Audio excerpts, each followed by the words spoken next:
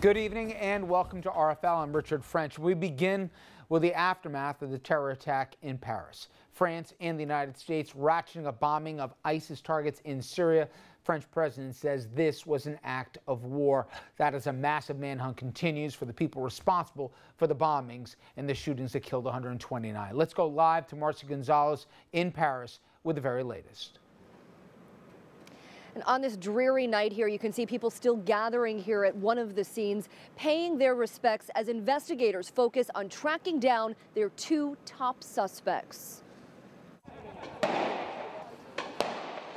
Explosions echoed through the streets as the international manhunt for escaped Paris suspect Salah Abdeslam led police here, the Belgium town of Molenbeek. But hours after law enforcement thought they had him cornered, they found out he wasn't there. Authorities say the 26 year old French citizen is on the run. One of his brothers died carrying out the attacks. Another brother was detained and questioned, then released today.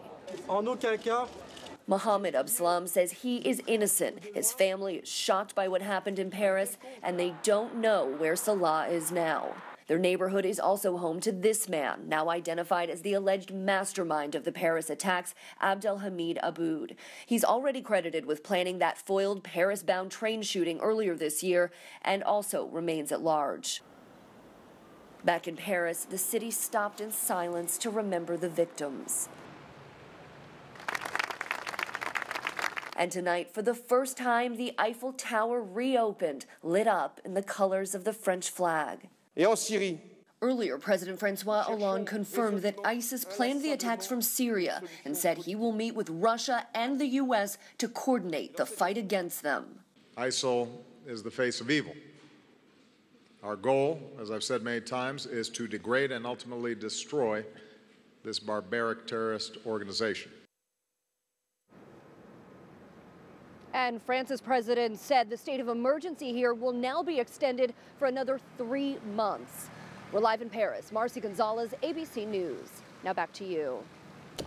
Thank you very much, Marci. Okay, tonight we will be taking a look at a lot of angles uh, in the aftermath of these terror attacks. First, the military options. France and the U.S., as you just heard, ratcheting up airstrikes on ISIS in Syria. But will NATO and boots on the ground be needed and be part of the equation. We'll talk to our top military analyst. Then we'll take a look at the intelligence and whether this was a massive failure and what will the fallout in fact be. Will this cause even more aggressive surveillance?